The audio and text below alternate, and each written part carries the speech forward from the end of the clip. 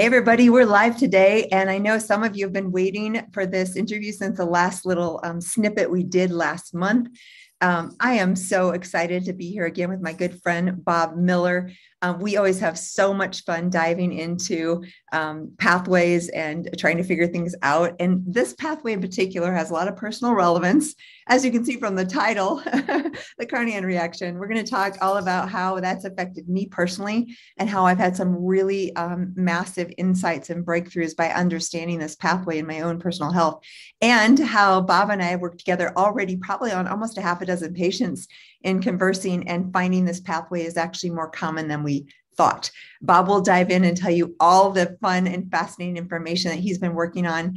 Um, but before we do that, just a little background. You can find um, all of my blogs, literally 10 plus years of content at jillcarnahan.com, all free. So if you want to know more about mold or environmental toxicity or benzene or uh, any sort of topic, Lyme and co-infections, it's all there.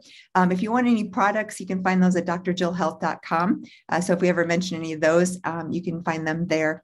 Uh, and then of course, YouTube channel, Jill Carnahan MD, you can find all of these interviews. If you have missed any of them live, video and bob and i have a whole it's this is probably our um, half a dozen mark here. I think we're on number six so there's lots of great content there. You can also find me anywhere you listen to podcasts so youtube or stitcher and you can listen there in your car if you're walking if it's easier.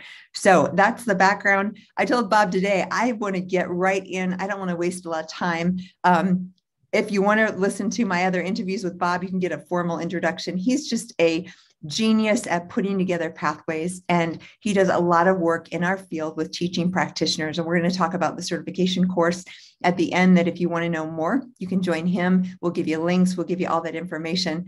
But without further ado bob let's jump right into the carnahan reaction. absolutely. I've been looking forward to this for a long time. And uh, i think a lot of people are going to have quite a few aha moments as we go through this uh, today.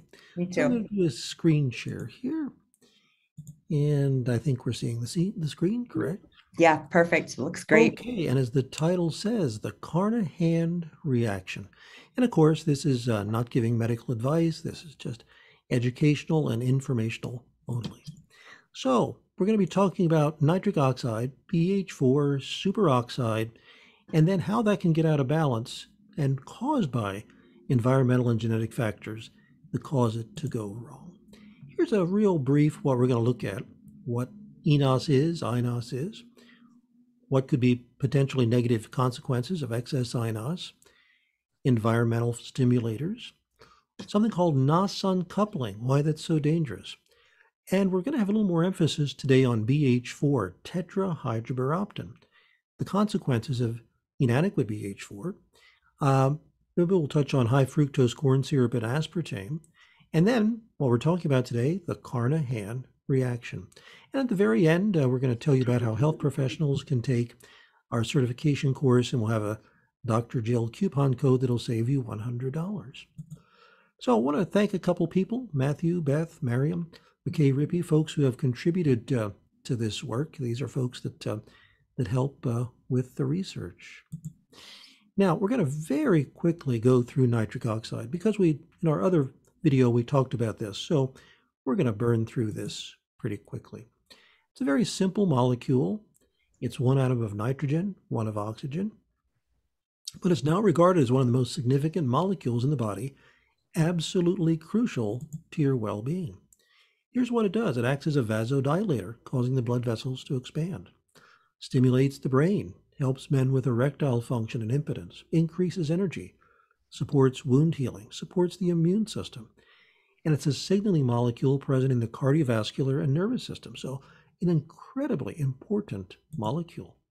Uh, Nobel Prize 1998 given to three gentlemen for their research as it relates to uh, cardiovascular health. And I'm not going to read this because there's there's too many here and we're short on time. But what we might be able to do, Dr. Jill, is a PDF yeah. of these slides, link these. So for people who really want to look at these carefully, they uh, they can. We can give you a link for that. I love that. So everyone stay tuned because wherever you're listening to this, I will be sure and include a special link where you can download the, these slides. Now let's look at how nitric oxide is made. So I'm going to slide over another little map here. And uh, don't panic, this isn't as bad as it looks. Okay.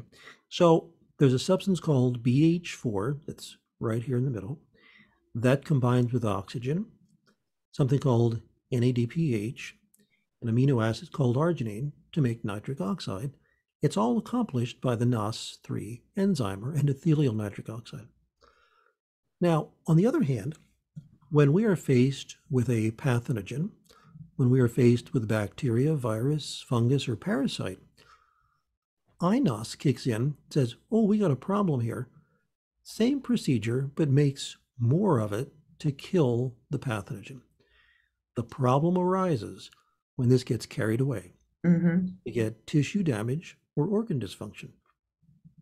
And we're going to go through these, so I won't read these now, but over here are the environmental factors and these last two internal factors that will stimulate. Uh, also of note, uh, you know, many people are dealing with uh, mold, and we'll talk about your experience a little bit later. Uh, Clostridia, mold, Bartonella, they're sources of lipopolysaccharides that stimulate NADPH oxidase, mast cells, histamine, and the INOS enzyme.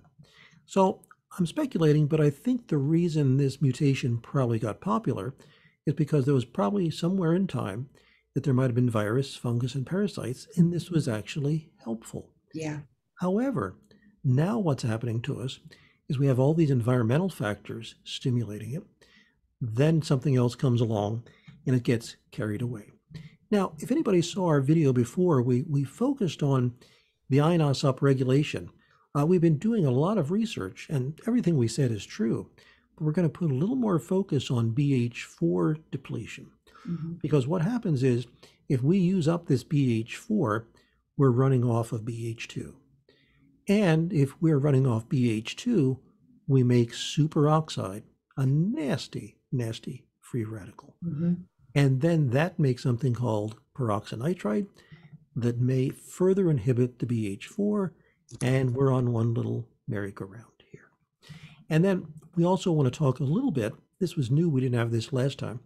We've mapped out the whole pathway of how we make BH4, how it's dependent upon something called guanidine triphosphate from the Krebs cycle, and then how we need folate and genetic mutations here could impact it as well. So we'll get into that as we move along, but that's the big picture. Okay. So as we said, BH4, oxygen, arginine, heme, NADPH, and specifically for the nitric oxide that helps circulation, NOS3. Interestingly, there's one RS number. Here it is, 3918226. Wild means it's the one that's the most useful, T Mhm. meaning the risk that it's less useful. And mutations on the T, either heterozygous or homozygous, will cause less than optimal nitric oxide production. So if somebody has a 23andMe or they uh, they do you know the functional genomic, they can look at this, and uh, if they have one or two Ts, they may have less nitric oxide production, the endothelial nitric oxide. Interesting. And Bob, just to clarify, you're going to go into this in detail, but most of the mutations that we're going to talk about actually increase production. Is this the unique one that actually decreases? Is that kind of why you're bringing it to the attention? Well, yes, this is the one that's the NOS3 versus it. the NOS2. Got it. Okay. So NOS3 is the one that helps us have circulation. NOS2 is the one we're concerned about being upregulated. Okay. So again, just to clarify, just so because I think the listener will understand too. So the, on the circulatory uh, bit, this will lower nit- nitric oxide, which could be a disadvantage because we need that vasodilation in the circulatory system. But the NOS2, a lot of the mutations are upregulated, which causes the reactive oxygen and all of those things that you just talked about. Absolutely. Yeah. Now, I'm going to make this very short because there are people that are a lot more qualified to speak on this than I am. And perhaps that'd be a, an interesting guest for you sometime. But I just want to mention that, you know, this is the pathway we're talking about with nitric oxide. Mhm. There's another one called the nitrate pathway. And the L-arginine pathway is pH dependent, oxygen dependent. This one isn't. Uh, interestingly, arugula is one of the highest sources of nitrates. And Wow. what happens is when we get nitrates, they'll turn into nitrites and nitric oxide. So there is a plan B here. Also, spinach, celery, butter lettuce, bok choy, beets, and kale. And what we have to have is bacteria on the tongue that provides the uh, nitrate reductases. That's why sometimes using mouthwashes and fluoride toothpaste whitening could degrade this, and antibiotics and antifungals Mhm. could, uh, could also decrease it as well. So this is an additional pathway uh, that could bring nitric oxide in, uh, you know, the good nitric oxide. And what's interesting, uh, and I mean, I just learned this from uh, from Beth Shirley, nitrates and nitrates recouples the NOS. We'll talk about that later. It inhibits these enzymes. We don't have to read them; it gets complicated, but they're inflammatory. Supports antioxidants, SOD, catalase, SIRT1, and this GTP that is at the beginning Mhm. of the uh, of the phase to make BH4 in an enzyme called uh, heme oxygenase that helps us uh, break down heme properly. So some food choices there could be a big part of it. Now here's where we really want to get into today: the INOS. Remember, I said INOS is what uh, comes to your rescue to kill pathogens. Yeah.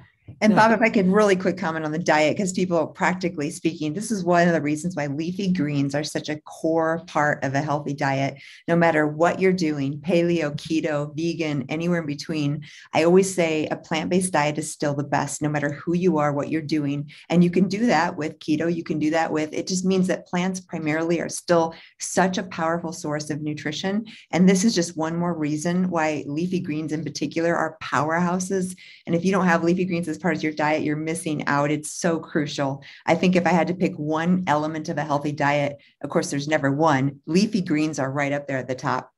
Absolutely. Absolutely. Now let's get into INOS here. So, as we said, INOS is crucial for our, our immune defense. So, INOS generates a very high amount of nitric oxide to fight bacteria, virus, fungal. NOS3 is the one that makes little puffs of it to dilate your blood vessels. When we get total elimination of it, it increases susceptibility to various infections. On the other hand, excessive has been associated with many health concerns. You know, as you've said, Dr. Jill, we've we've spoken many times, and we keep coming back to, you know, Goldilocks and the Three Bears. Yeah. Not too much, not too little, and and that balance, uh, not too little, not too much, is so critical in almost no matter what we're talking about. So, not enough INOS, we don't kill pathogens. Too much, we can cause damage. It is. And you and I have talked again. If you're listening out there, methylation has been a hot topic for several years now. And you and I, Bob, have talked all the time about how everybody is like, oh, methylation, let's do this, or NAD, let's do this. And so people go kind of crazy with NAD precursors or methylated folate or methylated B12. But if you are in a process and you're really toxic or your genetics are not ready for that load, a lot of times these things make people worse. And this is one of the reasons why it's that happy medium.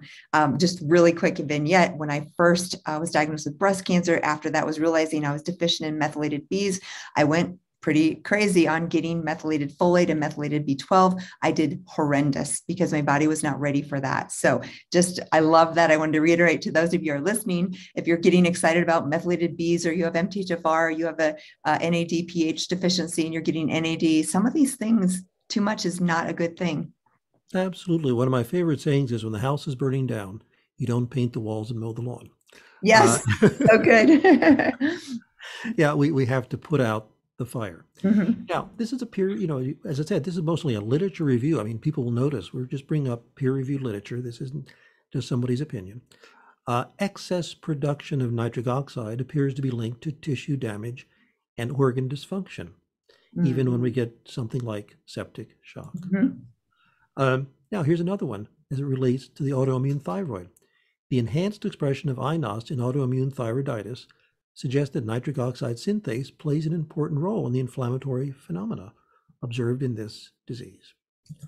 Uh, Alzheimer's, what a serious problem that's becoming to be. Yeah. Here's a peer reviewed study. INOS seems to be a major instigator of the beta amyloid deposition and disease progression. Their Mhm. conclusion inhibition of INOS may be a therapeutic option in Alzheimer's disease. Um, clearly, we have to do more research into this. Now, as we talked about, when you've got uh, too much superoxide that's made, it combines with nitric oxide to make peroxynitrite. We're going to talk about that a little bit because more research is now showing peroxynitrite may not be as bad as we thought, but you'll still see you know differing opinions on this. Uh, but in this article, uh, cellular generation of peroxynitrite may contribute to the carcinogenesis and tumor progression by weakening key cellular defense enzymes such as uh, N-acetyltransferase 1. Mm. And Bob, I just want to comment because uh, 20 years ago, 25 years old, I had breast cancer. And part of my journey in helping patients has been why did this happen at 25 to me? And I think of many, many, many things. One of them is poor detox glutathione transferases and the pesticide exposure as a farm girl being raised in that environment. This NOS, which we'll talk about, I've got some real specific deficiencies in the genetics there. And I think that was part of the factor, this reactive oxygen. And I've got a lot of issues with um, uh, absorption and uh, methylation of B12. So all of these things together, and there's more, but those are just a few of the pearls with the genetics that now allows me to understand things like why would someone like me who is living a healthy lifestyle get cancer at 25 years old? Mm, absolutely. Well, we have part of the answer in what we're talking yes. about. Here's an article inhibiting INOS improves triple negative breast cancer. Wow. A relationship uh, in gastric cancer. The mm. expression mm. of INOS and VEGF are closely related to tumor angiogenesis and are involved in the advancement and the lymph node metastasis. Mm. Um, here we're talking about colon cancer. INOS expression and tyrosine nitration may be an indicator of cancer development and progression in colitis and colon cancer. And of course, part of your story was uh, Crohn's disease, I believe, as well. Yes, yes, exactly. Makes a lot of sense now. yeah. High levels of INOS expression in ovarian tumors are associated with a greater risk of disease, relapse, and patient death real quick thought as you're going i love these thoughts that just pop up. So you talked about lps earlier. Lps is the coating of bacteria and you correlated it with not only we talk a lot about the gut microbiome and this leakage of the coating of the bacteria into the immune system through a permeable gut and it's a massive trigger for autoimmunity for uh, obesity heart disease cancer um, even mood disorders and sleep disorders. So back to my story the chemotherapy caused massive permeability and lps from the gut was one of those triggers that caused the crohn's disease. So then we look back at this inos and lps being a trigger there. Again in my personal story that lps had a big role i think. Absolutely yes. Uh, here is this, uh, information on inos and osteoarthritis. Uh, people can look at the slides if they want to uh, to read all the further mm-hmm. detail. If you're joining us late we are going to put a link uh, to the slides so that you can uh, get these as a PDF. Um, here is for the respiratory and vascular system. So what we're going to be talking about here is, is COVID. Now, of course, we're not saying there's any cure that we're providing here or cure, but this is interesting that what they're saying here, and this is a peer-reviewed study, showed up in PubMed, Medical Journal Nitric Oxide, implications of COVID on the eNOS and iNOS activity, consequences for the respiratory and vascular system. Look at this slide. When COVID hits you hard and the antiviral effects come in, that can be a consequence of the severe lung inflammation as it suppresses the eNOS, the blood clots. So again, we're not saying this is a, a cure or prevention, but may explain why some people are more impacted by COVID because the iNOS is getting upregulated by the virus, going too far, causing the blood clots. Now, interesting. We've been talking about all of this, and here's an article that says data are accumulating on a protective effect of high output nitric oxide synthesis and a protective stress response and simultaneously aids in downregulating the pro-inflammatory response. So it's like, uh-oh, Bob, you just made an argument that uh, that the INOS is the problem. Now you're saying that it may not be. And of course, this information came from uh, you know, some of the researchers who are talking to me and say, mm-hmm. you know, this is being reevaluated. So I'm not taking a position on it, but the question is, who is the real villain? Now, everything we've said so far is correct. The upregulation of INOS is a problem. So we're not saying it's not the problem. But here's the scientific debate. Is the inflammation from the nitric oxide or the superoxide created with the nitric oxide? Or we'll talk later about NOS uncoupling. So it, it almost just becomes a scientific argument, not as much something that yeah. we need to be concerned about. But all of this that we've talked about might be the superoxide rather than the nitric oxide. So this will probably be hotly debated for years. Uh, Beth Shirley gave me this uh, this quote: "When you see firemen of fire, are they the cause of the mm. fire? It's so, that association versus causation, Bob. We know this in research, right? I love that you're bringing this up because it's really, as you look at that list that you showed earlier, I'm sure we're going to dive into of causes. Usually, someone like me or our patients, they have other reasons that are having massive inflammation. And this just actually is, it's actually our body's protective mechanism, but it goes too far.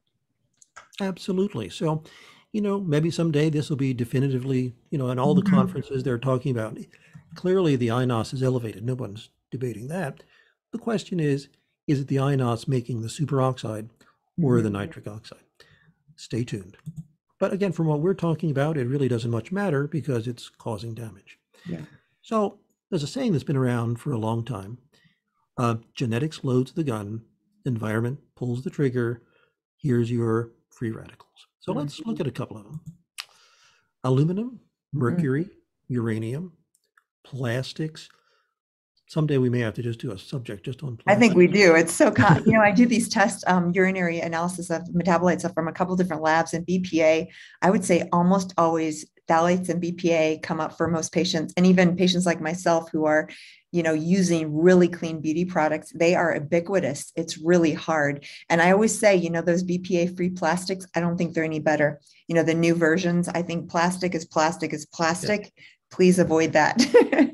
And we're polluting the ocean the waterways. Yes. that's it's we're making a mess. Yeah. ethanol emf we'll talk more about that.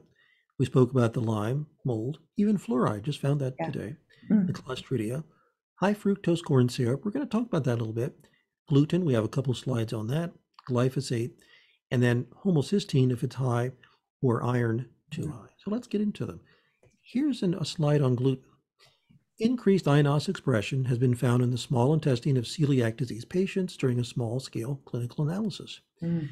So, what they're saying here is the increased urinary nitric oxide products in children with celiac disease during at least three clinical analyses and there was increased INOS expression was also reported in the small intestine. In those with celiac, a gluten-free diet was found to result in a rapid decrease in the plasma nitric oxide and NO products. Uh, now, if anyone is interested in, you know, do they have gluten sensitivity, there's an enzyme called KIAA 1109. Hmm. And uh, when there's one mutation, you're usually gluten sensitive. Two, that really jacks up the chance of uh, of celiac, not a diagnosis, but a, a potential. Yeah. And here we have listed the uh, the RS numbers, which is the good one, which is uh, the risk. And you can see by this bar chart that the homozygous only occurs in 2.6 and 2.5% of the population, so not very common. But when someone has these, there's a very good chance uh, gluten is not their friend. Uh, now we're going to talk about microwave and EMF. And here we're talking about more nitric oxide or more INOS when exposed to uh, electromagnetic fields. Now, as you said, we, uh, oh, let me show you this first. These are some of the genes that are related to uh, the calcium voltage channels mm-hmm. that, when mutated, allow EMF to push calcium in more strongly and then again make superoxide. And again, we list the four here if anyone ever wants to, to look them up see which one is the wild means the good one, the risk is the mutation. Uh, but rather than go into it, uh, your uh, video number 54, we spoke about EMF. So uh, there they go. They can go back. It was one hour and 21 minutes. We spoke about EMF.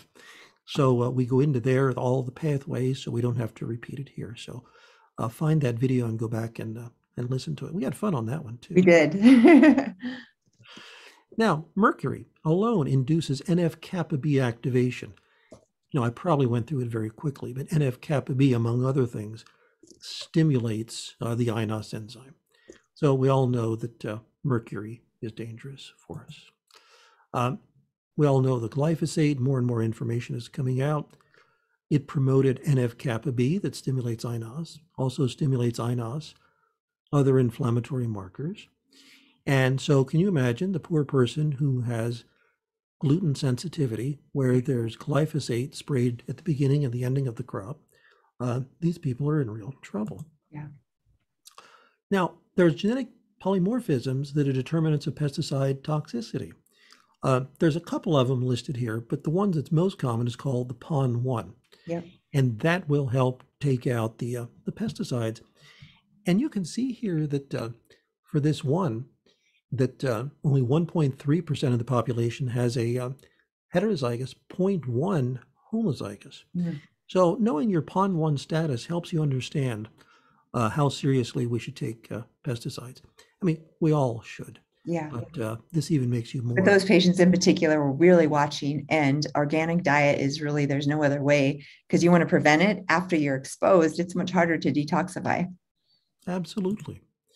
Uh, now you did a great show with uh, McKay Rippey, and he gets Yeah. into the uh, to the BPA. Uh, it induces um the uh, uncoupling of the eNOS that we'll talk about a little bit later. Uh, so it uh, uncouples uh, the NOS3, which is the good one, and creates the uh, peroxynitrite. Mm. So uh, I'm not sure which number show that is, but they could easily find it on your YouTube or somewhere else. To listen to the one with the, you did with McKay Rippey, a great, uh, great video. Uh, ammonia increases the expression and activity of the L-arginine transporter. Mm. I found this absolutely fascinating. Um, and uh, I didn't put uh, slides up for the urea cycle, Uh-huh. uh, but there is a genetic pattern that can mean that something called the urea cycle doesn't clear ammonia quite as well. And um, then that activates NF kappa B, which leads to increased nitric oxide synthesis and protein nitration. So it's really important to make sure that uh, that uh, um, the urea cycle and ammonia is cleared properly. And you know, um, Bob, I do have people who have the smell, um, they either smell ammonia or they have urinary, um, you know, that smell in the urine of ammonia. Uh, so I do find this not too uncommonly, you know, in patients. Absolutely, that old person smell. You know, so Mhm, Yeah, kitty litter or Windex, in case anybody's wondering what. yes, yes. High fructose corn syrup. We're going to talk about this a little bit. This only came into being around the late 70s, early 80s. And we're going to look back someday and say, oops, to this. Right. Um, it increases the INOS enzyme and it suppresses a very important enzyme called SIRT1. Hopefully, we'll have time to get to that. Uh, SIRTUIN1 is a, uh, it's a very important enzyme that's actually related to longevity. Mm. Uh, we talked about this. The lipopolysaccharides activates NF kappa B, and then that stimulates the INOS enzyme and other inflammatory cascades. Uh, ethanol is able to upregulate both COX2 and INOS expression. Mm. All right, now let's look at some of the internal things that are pulling the trigger. Now, Bob, there's many other reasons, but I'm assuming that'd be I don't tolerate alcohol well, and I just decided, you know, 15 years ago, I basically don't drink. Once in a while at a party, I'll have one sip of wine, which is, you know, and I don't mind it, I don't miss it. But I'm assuming that probably some of the genetics that I have with the INOS and all this, in addition to other things, are one of the reasons why I just. Would you say that's? Um, are there any other things that you would think about genetically when someone doesn't tolerate alcohol? Is Well- there acetaldehyde genetics too? So that's part of it too, but I'm also thinking of, uh, you know, glutathione. Yes. Uh, if you don't re- take your oxidized glutathione back to the reduced, that's a, another factor. So okay. Which there's is probably- me too. yeah. probably multiple factors. Yeah. All right, here we go. Hyperglycemia increases INOS uh, in levels inside the body. This is possibly why diabetes is another, uh, you know, morbidity that makes uh, COVID outcome uh, worse. Mhm. Worse. Yeah. Yeah. Um, here's another one on the uh, the advanced glycation end products. They induce the uh, the INOS enzyme, and of course, you know when uh, when I was young, we used to call it adult onset diabetes. Yeah. Uh, you know, you're usually over 40 and rather overweight. Now, children are getting uh, diabetes. Yes. Um, and then obesity, and then again another comorbidity. Mhm. Obesity causes INOS pathway upregulation. And of course, you know, we are getting fatter all the time. Yeah. Um, histamine stimulates INOS expression. So the more we create histamine, the more we're going to create uh, excess INOS activity. Mm. And so many of these are perfect storm, Bob, because like our mold exposure, which I deal with so many people with that, uh, is one of the number one things that triggers mast cells. Mast cells then throw out prostaglandins, histamines, et cetera. And those people who have trouble breaking down histamine, production of excess, there's a bunch of different genetic variants. This just adds to the toxic mix. Absolutely. So rather than get into histamine today, go back and listen to interview number 34, histamine. Uh, we had a great time going through Yes. all of the pathways. So We're just mentioning it today, and if you want to learn more, listen to this interview number 34. Uh, then estrogen upregulates inducible nitric oxide synthase and COX2. Uh, and what are we doing? All the plastics. Hmm Yeah, Estrogen estrogen. receptor, yeah. So those are called estrogen disruptors, if you all haven't heard of them, and pesticides, organophosphates, a lot of chemicals in our environment. And what's interesting, really quick, toxicology classically will show these levels of toxicology. Basically, here's a level that it causes a toxic effect. When we see these endocrine disruptors, they are like uh, sometimes tens and hundreds of times lower levels, and they're synergistic with other chemicals. So, extremely low levels that are not considered classically toxic, they exert a hormetic effect. That means a hormone like effect on the body and can cause real damage at very low levels. So, our classical toxicologists haven't been warning us about this, but we see this, you know, levels that are really low in the environment are still causing massive damage.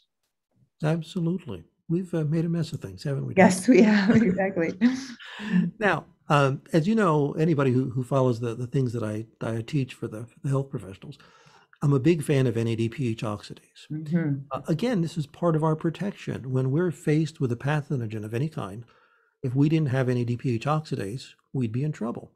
It stimulates the mast cells, the histamine, kills the pathogen. But again, environmental factors are upregulating it.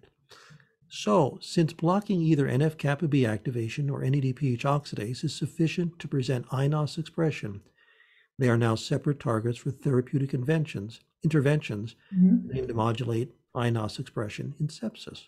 Mhm. And we'll be talking about that a little bit, I think, when we talk about uh, your experience with the mold. Uh, now, again, we could spend the next 20 minutes talking about uh, NADPH oxidase. Just go to number 26, and we really dig into environmental factors that are overstimulating the NADPH oxidase. You know, Dr. Jill, when we did all these videos, I had no clue that all of these dovetail together in a perfect I know it's so amazing, Bob. That's the fun thing is as we just keep diving deeper, we and for me, what's been so great is I have a lot of ahas about patients that, as you know, I see a lot of the most complex chronic. I love mysteries, I love detective work, but some of these patients have been ill and have tried everything, and it's not a matter of the standard protocol. There's no one size fits all. And these little pearls where you individualize the genetics mm-hmm. are always so powerful in kind of finding out what for you as an individual patient with unique genetics is the thing that's going to be a game changer. Absolutely. We got to get away from the pill for the Yes, absolutely. Yeah, A protocol. I'm not a protocol kind of doctor. I mean, yeah, we use protocols, but they're all individualized. Absolutely, they've they've got to be. Mhm. Um, then the uh, NADPH oxidase stimulates interleukin six. You know, and I believe that is still the most watched video on your YouTube channel. I think so Uh-huh. too. You've been, yeah. When I and I grabbed this some time ago, there was two two thousand five hundred people that just watched it on YouTube. wow. Uh, that's what's real. They're amazing. That's in addition to your Facebook and other places. Yeah, yeah, we have all kinds of. But uh, I would, and we went almost uh, two hours on that one. I So, know. And if you want to see how this all interreacts, uh, watch that interview on uh, on IL six. We did a, a great job. That was a really good one. And that was so relevant because COVID and cytokines and all the stuff that we've seen. I always say the good one of the good things that happened with the pandemic is it allowed the average population to understand like cytokines, some of these words that you and I talk about and a lot of the functional medicine thinks about, but the average person hadn't been exposed to. Well, now most people have heard the word cytokines and they understand at least the basics of what that is. Absolutely. So I believe IL-6 overexpression is a huge problem. Again, as we talked about in that Mhm. video, all the things that we're exposed to environmentally. Mhm. Uh, nitrates and nitric oxide actually downregulate that NOx enzyme. Mhm. So back again to your, your diet, those dietary nitrates uh, Yeah. help calm that puppy down. Mhm. Now, the L-arginine paradox. Okay. Uh, you know, if you, um, you know, look, look at some things on the internet, and if you want to boost your uh, nitric oxide, you'll see boatloads of supplements that have L-arginine in them. Yeah.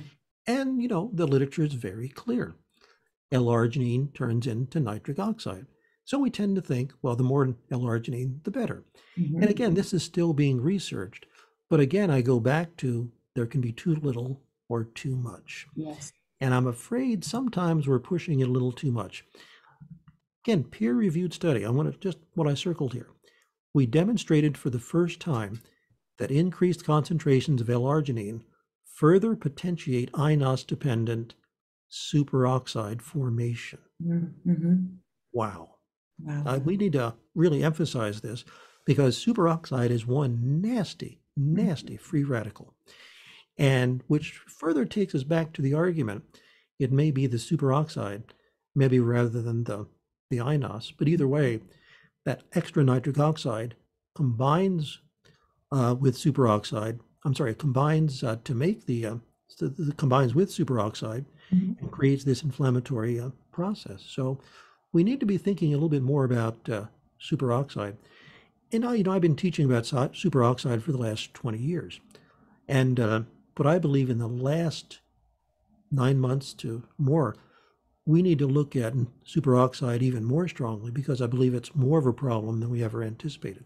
Made by the uh, by this process right here that we're looking at, made by the uh, by the EMF, uh, made by the Fenton reaction. Yeah. Many ways now that we're making more superoxide than we ever did before. Now, question, Bob, is this one of those things where you and I both love our hydrogen breathing machines? And that's to me this kind of universal thing that neutralizes reactive oxygen. Is this one of the areas where that would be helpful, either the tabs or the breathing hydrogen? Absolutely, yes, absolutely. Mhm. Yeah, and uh, I was hoping to do it today, but I didn't. I was working on slides, but right. I try to do it every morning, and some days I'm like, oh, I really miss that. It's amazing. And yeah, if you want to know more, um, you can get hydrogen tabs on drjillhealth.com. There's a couple brands. Just look up H2 tabs. Those are the cheap, easy version. The machines that Bob and I have, uh, unfortunately, they're about five thousand dollars. Yeah. Um, so you may not want to invest in that, but we, I love it. I, I use it almost every day. absolutely. Now look at this slide. While arginine is a cofactor for nitric oxide synthase, it has a specific role in regulating that INOS transcription and expression. In other words, too much of a good thing. Yeah. Now, this study really blew me away. Depleting arginine decreases INOS even under conditions that would upregulate INOS expression. Wow. Yeah, I'm really excited about this. Now, Mhm. this is fascinating, and that's why uh, we uh, perhaps we should do a, a future show just on arginine, and uh, because we're going to show you some really cool stuff here. Arginine does a lot of things Mhm. but it will also turn into glutamate, which is excitatory, Mhm. which will stimulate interleukin 6, which will Mm. stimulate Mhm. um, mast cells and histamine. Also part of the, uh, you know, the neuro, a neurotransmitter and can make us anxious. So excess glutamate can be a real problem.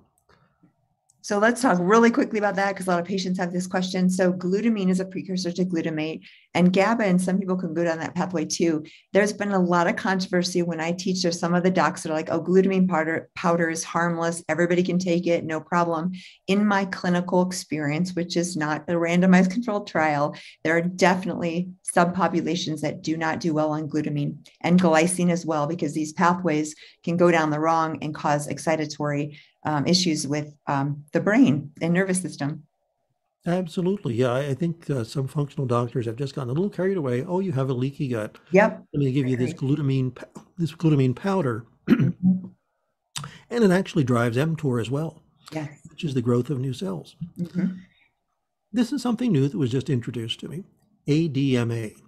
And, uh, you know, a lot of people have not uh, about heard of this, and I was rather intrigued. And that's why I think we need to do a, a webinar just on this ADMA and what it can, can do to us. Fascinating. Here's a quick preview. Um, proteins get arginine put in them. Then through methylation, we make this ADMA. Mhm. ADMA will inhibit the NOS enzyme to make nitric oxide. This gets cleared by something called DDH, DDAH enzyme. We're, um, we're working on making a new chip for our genetic testing. Mm. If at all possible, I want to make sure we got these guys because we've got to start looking at these. Yeah. But look what happens. High cholesterol, high blood sugar, high homocysteine, or smoking inhibits this enzyme. Wow. More inhibition Mhm. of nitric oxide. This is the good nitric oxide, the eNOS. Mhm. So there's a lot to learn here. I don't claim to be an expert on this, but here you can see your, you know, your SAM, which is comes from methylation, Mhm. that arginine protein. We really need to dig into this deeply. because what this ADMA does, okay, increased risk of arteriosclerosis, such as increasing age, and then hyper high cholesterol, hypertension, high triglycerides, diabetes, insulin sensitivity, high homocysteine, and renal failure.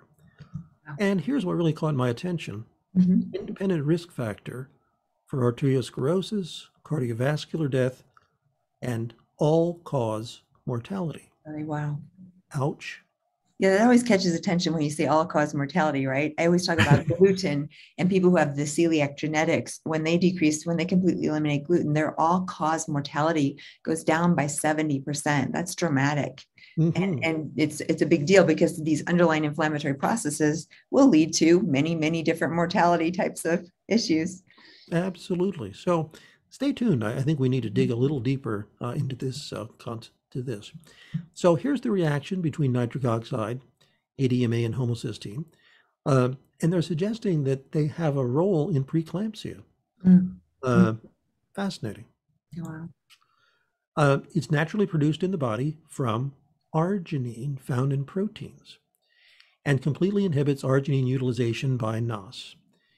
It's been uh, repeatedly associated with a variety of health conditions such as endothelial function and cardiovascular health. Mm. And then, as we said, the homocysteine uh, slows down that DDH enzyme and further increases those levels, which could have a big part of why uh, elevated homocysteine is such a, a significant factor Yeah. in our cardiovascular health. Interestingly, though, we need homocysteine to make the cysteine that makes glutathione. So here we go again. If we didn't have homocysteine, we wouldn't have glutathione, but it Yeah. goes too high and we have a problem. Any thoughts? You may not have a lot to say here, but just curious if you do on the really low homocysteine, like say four or five. Are those hypermethylators? Is there any thoughts around that, Bob? Yeah, they may be hypermethylating that, you know, through either the middle pathway or, you know, through methylfolate and methyl B12, they're they're over converting. Might be other reasons as uh, as well. You know, there's a SAM SAW ratio as well where Yeah. you know, that comes down through, so that could be disrupted. So uh, again, I think a 3D chess game. Yes, totally agree. Um, so here's some of the interactions. It induced nitric oxide production. Again, NF kappa B. And for those who don't know it, this is a very strong inflammatory uh, component, the NF kappa B. Um, in mice, it increased the INOS expression threefold. Wow. Uh, it was also found to induce NOS uncoupling, Uh-huh. increasing the reactive oxygen species. Mm. And this blew me away. Deplete depleted intracellular levels of your tetrahydrobiopterin, that's the BH4, Mhm. 80%. Mm. That's a big, That's a big deal. yeah, that's a big deal. Wow. So, you know, and what's interesting in our health coaching, sometimes uh, I'll say to people, does your doctor ever measure your homocysteine? It's like, no. Mhm. And uh, it's, it's ignored. And I, and I believe that uh, we really need to be paying attention to this. So, you know, one takeaway is uh, I think everyone should be aware of where their homocysteine is because it's a really important. Bob, I could not agree more. And I'll just say, if you're listening here, there's a few things you want to ask your doc if you haven't had checked. A1C, average blood sugar, you should be checking that every year. Homocysteine, for the reasons we just talked about, HSCRP, non-specific inflammatory marker, um, and other things like um, immunoglobulin G, and really all the immunoglobulins. Very do- few doctors are checking those, and I can't tell you the number of patients I've diagnosed with immunodeficiencies. And it's a very simple; these are pretty simple tests to get. Absolutely. So, I mean, but this number right here, I mean, I was like, you've got Mhm. 80% reduction in your tetrahydrobiopterin. That's the BH4 we talked about earlier. In case Mhm. people are confused, that's what helps you make nitric oxide rather than Yeah. superoxide. Wow. Amazing. Mm. How do we calm this puppy down? Okay. Um, vitamin D. Vitamin D has the potential to prevent oxidative damage by suppressing the INOS enzyme. Mm. Yeah. Zinc. Also, uh, that zinc limits INOS derived high output NO production in endothelial cells by inhibiting NF kappa B dependent INOS expression. Then lysine may reduce the arginine absorption. Now, they're both absorbed through the same transporters, And when we take the lysine, the arginine may not be absorbed as much. Mhm. And just about everybody knows about, uh, you know, how you can use lysine for, uh, for cold sores. Viruses, yeah. Yeah, so let me just comment clinically. So anyone who has frequent cold sores or genital herpes, either one is HSV virus, um, taking a decent dose of lysine, usually I have patients a minimum of a thousand a day, sometimes up to 2000, uh, will really inhibit that virus and often prevent you from having breakouts. This is a great pearl. It's an easy and cheap supplement.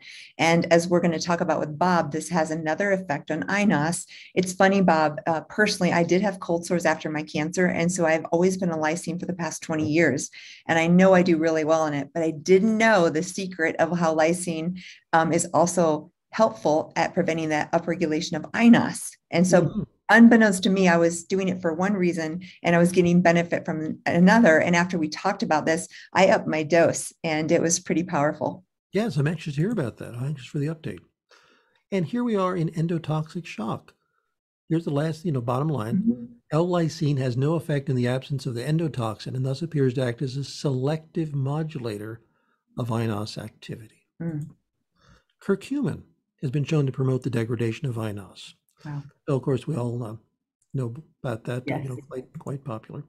Boswellia, that is uh, frankincense, Yes. um, showed a significant increase in a colitis group.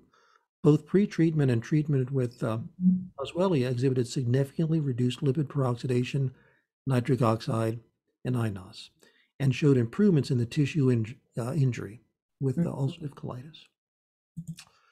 Um, there's something called uh, paractin. It's something that's uh, it's manufactured, but it comes from uh, andrographis, Mm. um, and it was uh, found to reduce pain in mild to moderate uh, osteoarthritis, but it also uh, decreases uh, INOS.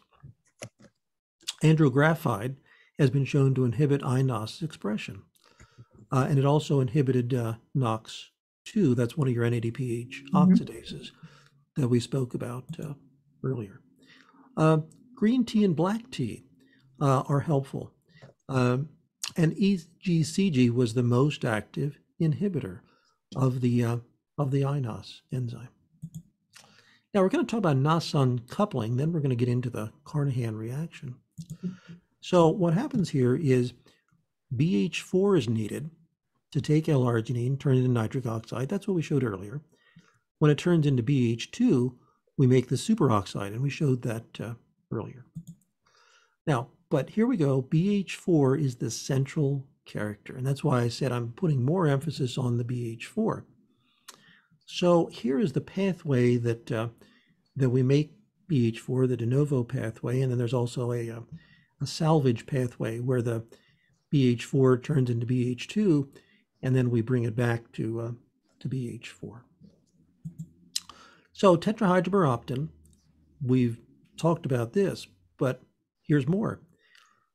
Phenylalanine is an amino acid, needs to turn into tyrosine. Not good if that doesn't happen, BH4 dependent. Then we need the tyrosine to turn into L-DOPA. And many people say, is that the problem with Parkinson's? Um, and then we need tryptophan to go into serotonin. Without serotonin, we're depressed. And it just appears as though more and more people are getting depressed. Are you observing that as well, Dr. Jones? Absolutely. I think there was almost a 400% increase in prescriptions for SSRIs in the last year. Now, granted, we've had a pandemic, but I don't think that's the only thing. I think the toxic load and some of these things are really contributing. Absolutely. Look at this fascinating chart. Here's here it is. Here's that GDP, uh, GDP hydroxase. That comes from the Krebs cycle. So if we have anything that's impacting Krebs cycle, we're not going to have mm-hmm. that GTP, guanidine triphosphate. That helps you make your BH4. The BH4 turns into BH2. Mm-hmm. We need to bring it back. We spoke about this at length, the endothelial nitric oxide, but here's the phenylalanine into tyrosine, the tyrosine into L-DOPA, the L-DOPA into dopamine. Look who's lurking, lurking over here, reactive oxygen species. Uh-huh. So the more inflammation, the less BH4. And another merry-go-round that we're on.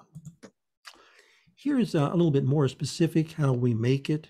And uh, in the software, in our uh, functional genomic analysis software, we've just recently put in all the SNPs that are related to the production of uh, BH4. Still too early to tell, but we're finding that when people have trouble producing, uh, they have these strange inflammatory conditions they can't seem to resolve. I didn't list all of them, but here's one of them. And you can see even a heterozygous here, only in 1.6% of the people in our software. So these are evidence-based SNPs that will be related to the production of the, uh, the BH4. Uh, as we make a new chip in the future, we want to make sure we have all these evidence-based ones so we can see if someone's having some difficulty making a BH4. Yeah, I'm really thinking that uh, we need to be spending more time thinking about uh, BH4. So years ago, Amy Yasko has talked a lot about this. I don't I haven't had her on the show, but you can find some information there too. And this has been a really big thing in the world of autism and the children that have been affected by that, adults too. But um, this has been on the radar a while, and we could just continue to learn more and more about biopterin and how important it is. Yeah, I didn't have time to find the slide, but I, I saw mm-hmm. some things as I was looking that some autistic children, not all, but some, are really helped considerably by boosting their BH4. I mean, clearly autism is very complex, and I don't think there's one thing right. that's going to But in some instances, uh, that can be very helpful. And I will say, I used to compound it and prescribe it. It's so much harder to get. I think a drug company got the rights to produce it. I don't know what's happening with that, but I used to be able to years ago actually prescribe it, and it's much harder to get nowadays. Mm-hmm. And we're hoping that if we see the pathway properly, if we slow down the wasting of it mm-hmm. and support the production of it and support the recycling of it, yeah, uh, that may be sufficient in some cases. Right. Uh, now, this is a fascinating quote here. It's believed that the intracellular BH4 to BH2 ratio, rather than the absolute concentrations of BH4, is the key determinant of mm-hmm. NOS3 uncoupling. Wow. Again, that BH2, when combined with NOS, makes the superoxide, which kind of goes to that argument that it may be the superoxide that's the real villain here. So stay tuned for that. Folic acid promotes the recycling of the BH2 to the BH4 and uh, it protects against hypoxia-induced pulmonary hypertension by recoupling the uh, eNOS. So we're working at uh, some, you know, nutritional formulas that may do this, but it's very complex. We want to look at how do you support, uh, mm-hmm. you know, the guanidine triphosphate? How do you support the recycling? Uh, just a lot to learn there. Now, NADPH is needed for BH4 production. Number 23, uh, if you want to know how to boost your nitric oxide or your NADPH, uh, listen to that pathway. And as you know, I'm a huge fan of NADPH, but mm-hmm. not just throwing a lot of it at this at one time. You have to make sure you do it judiciously when other things are calmed down. You do. And a real quick pearl on that, Bob, I learned last year, last December, I was speaking in Vegas. I had a big month and I was like, let me do some NAD. At that time, I was doing subcutaneous injections, so almost daily. And as you know, it requires methyl donors to process. And I have issues with B12. I, I, need a lot of B12. I require, I have all kinds of genetic polymorphisms around B12. So, as you can imagine, for two weeks, I felt amazing. I was on top of the world, great energy, felt perfect. And then I crashed and I started getting depressed, which is not like me at all, and really tired. And guess what? I completely depleted my methyl donors. So from now on, for me, this is a N of one. I always have to make sure I have methyl donors at good high doses with my NAD. Um, and I don't, I don't do well with too much. So some patients out there, you don't want to um, overdo this until you know your genetics. Mm, absolutely. And then uh, might want to listen to number 16. I think that might be one of the first ones we did. Yes. Where we talked about uh, peroxynitrite. Now, what happens if we deplete that BH4? Okay, modulation of NOS2 activity by repletion of BH4 may be a safe and effective approach to reduce the frequency of atrial arrhythmias during heart failure. Here's another one, tetrahydrobiopterin and cardiovascular disease. BH4 replacement may help treat hypertension, ischemia reperfusion industry, cardiac hypertrophy, chamber remodeling by restoring the NOS. It improves endothelial function, by those who smoke, who are diabetic, hypertensive, those with cholesterol problems, coronary artery disease, and even with heart failure. All of that can be effect of supporting your BH4. But I'd go a step further and it's like, yes, supplementing that might be okay, but let's stop the wasting of it. Mm-hmm. Let's support the recycling of it. Let's support the making of it. And uh, one of my favorite sayings is, I'd rather have you make it than take it. But uh, this is a, we have to learn a lot on this. Love it. We need a Bobisms file. These are these are good Bobisms. All right, we showed this before. Other than here, you're seeing how folic acid or methylfolate and SAMe are part of that BH2 to BH4. Mm-hmm. Much more complex than this. This is a, um, a rather simple drawing. Now, as I said, this is needed for phenylalanine to tyrosine conversion. Here's a little chart. PAH takes phenylalanine, which is an amino acid, converts it to tyrosine. But look who's needed mm-hmm. BH4, NADPH. Mm-hmm. Deficiency here can cause a problem. Yeah. Um, now, uh, both people know that when babies are born, they take a drop of blood and they look for very serious illness that's genetic in nature, or they have to have very serious dietary restrictions. One of the things I'm hypothesizing, just that, is are we getting like little mini versions of that? Not severe, but mini versions because of our BH4 and NADPH depletion. Uh, just, you know, N of one, talking to some folks, there's some individuals that have brain fog, insomnia, and they're seeing some improvement uh, as they stop things like uh, aspartame, which is pure phenylalanine. So we'll talk about that just briefly. Um, there is uh, foods that contain that phenylalanine. So if someone's having trouble with beef or lean chicken breast or anything on this list, you know, one of the things they may want to start considering is, am I having some difficulty turning the phenylalanine in there into the uh, into the tyrosine? And as we said, there's a serious issue called PKU yeah. um, that is, you know, medically diagnosed. But interestingly, Supplementation with BH4 can drive that activity in some individuals with certain mutations, lowering the plasma phenylalanine. Mm-hmm. Fascinating. Bob, again, this is something sometimes you may we may not have the answer to this, but I'm always thinking as we're talking, and we have a lot of patients who have excess dopamine because of gut dysbiosis and that upregulation of some of those pathways.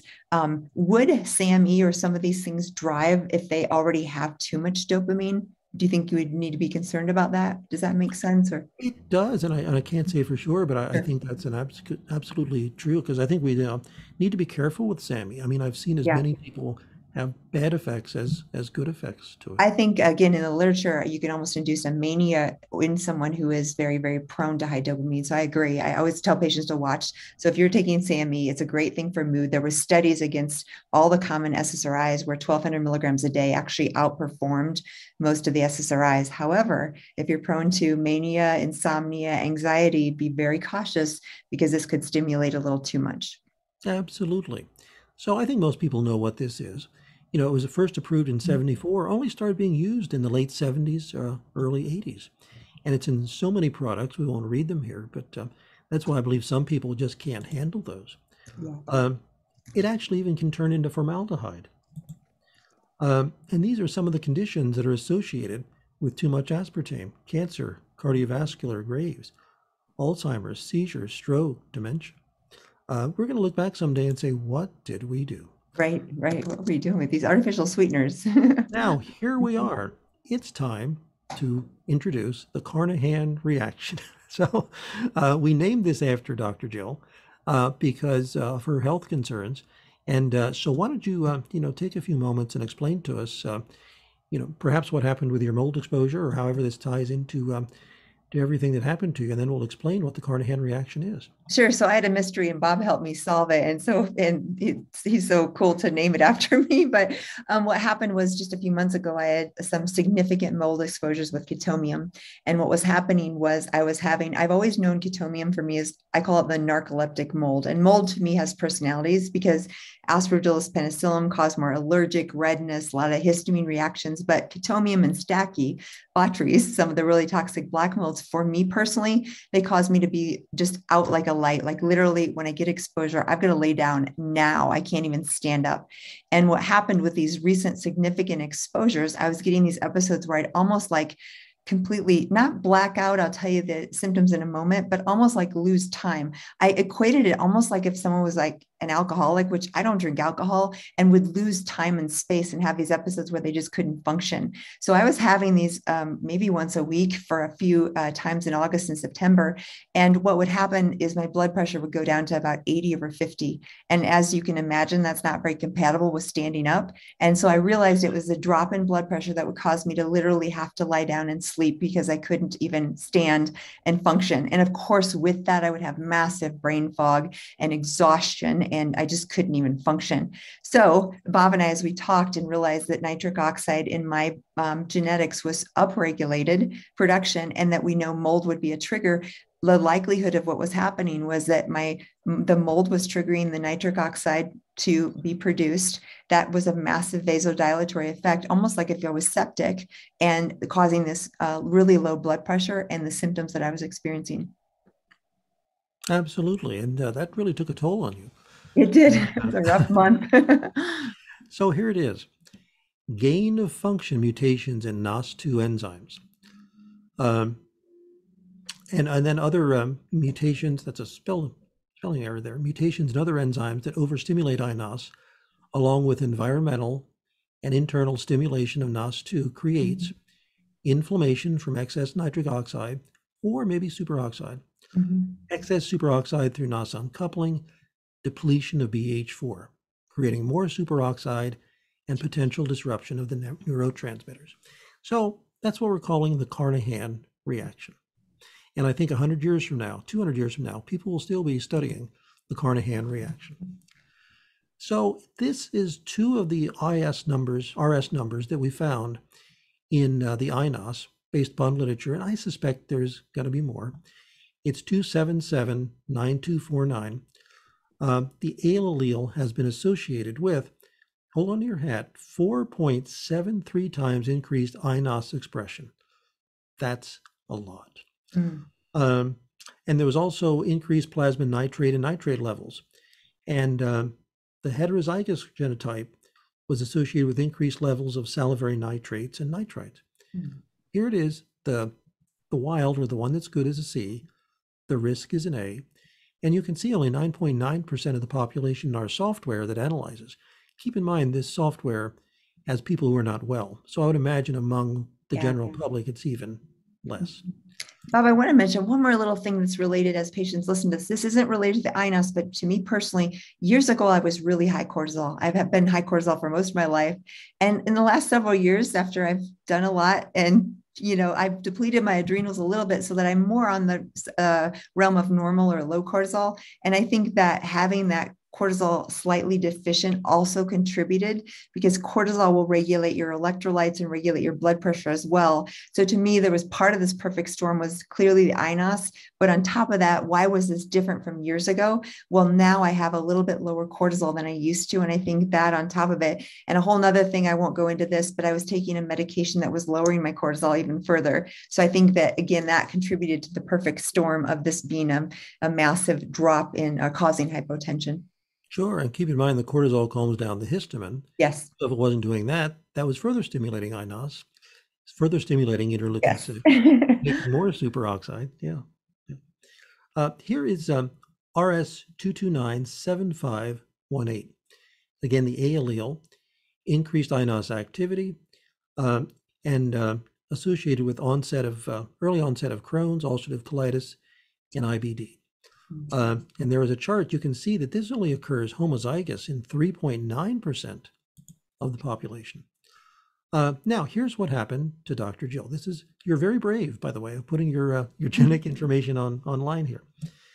There's a genetic mutation called HFE H63D, mm-hmm. and that may increase the absorption of iron. And you can see here you've got one genetic mutation here, mm-hmm. and uh, that only occurs in 23.9% of the population homozygous only 2%. Now, if you remember when we looked earlier, excess iron stimulates yeah. INOS. Mutations in HMOX, they may impact the production of biliverdin that inhibits INOS mm-hmm. and some mutations here. But here we go. Those two that we pointed out, homozygous on both of them. Wow. So that just puts you in a position that your INOS enzyme is, let's call it trigger happy, perhaps, that it, uh, that it just likes to uh, overreact over respond. Now, Bob, on the good side of this, I've probably I've been super athletic and and good uh, running ability. Good uh, years ago, I was a, you know did track and I did volleyball and did cheerleading and did all. And again, on the other side of this, just like Goldilocks, I probably had some good ability for the uh, athletic kinds of performance things that need oxygen to tissues because patients use this. It's just going to the extreme that it's mm-hmm. a problem.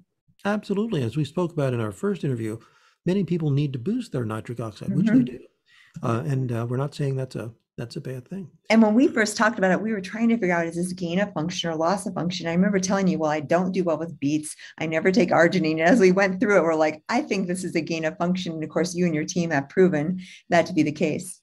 Absolutely. Now, as we talked about, DHFR is part of the way we get the uh, the folate there, and this is an evidence-based SNP on DHFR. So part of making or recycling your BH 2 to BH4 could have been compromised. Yes. All right, we're going to very quickly talk about SIRT1, and then we managed to, uh, to get through the slides. So SIRT1 is a very important enzyme. Uh, it supports endothelial nitric oxide. It supports superoxide dismutase. It inhibits NOX and NF-kappa B. And if you remember, I mean, we're throwing out a lot of terms, but these stimulate inflammation, but they also stimulate INOS. High fructose corn syrup weakens SIRT1. However, resveratrol and nitrates support SIRT1. SIRT1 also inhibits mTOR, which can be inflammatory, which inhibits autophagy. And it also supports, we just found this recently, it also supports the MAOA enzyme, mm. which is one of the major ways to clear histamine, which, as we just said, stimulates INOS. Quick random question, Bob. The MAO uh, SNPs, are they mostly gain or loss of function, or do they vary? Uh, from what we understand, they're they're they're loss of function. Okay. Yeah. Um, and here's some of the things that uh, the SIRT one is involved with. Um, it's involved with obesity-associated metabolic diseases, cancer, adipose tissue, aging, cellular senescence, cardiac aging, uh, neurodegeneration, inflammatory signaling, uh, all of these things are related to uh, SIRT1, and there is one of them that is related to, uh, you know, uh, pathogenic when it's mutated. I'm not going to read all this; we don't have time. But if someone looks at the slides, this is all the positive things that uh, that SIRT1 does. Mm-hmm. So, um, and if you look at the uh, the statistics here, homozygous is only 1.5% of the population. Mm-hmm. So RS 12778366 it's an evidence-based SIRT1 mutation. Uh, T is the wild or the good one. Uh, C is the uh, the risk. Um, so we'll go through this very quickly. High fructose corn syrup. I think most people know what that is. It's just been around since the late 70s, uh, early 80s. And which food products contain it? It's in everything. Mm-hmm. From soft drinks, canned foods, jellies and jams, processed snacks, fast food items. Yeah sauces and salad dressings. Uh, it is just everywhere, and that will inhibit your SIRT1. Mm. So I put these graphics together. Let's just say you have a typical breakfast of coffee and donuts. So if you have put some aspartame in there, that's going to increase the phenylalanine. Uh, that's going to create brain fog, low dopamine, agitation, insomnia. If your donut is made out of uh, gluten sprayed with glyphosate on it, that's going to stimulate the INOS. If you've got some filling in there or icing that has high fructose corn syrup, SIRT1 inhibition, decreased SOD and eNOS, increased NOx and NF-kappa B, NOS uncoupling, uh, decreased phenylalanine conversion, increases in superoxide, increases in, uh, in INOS.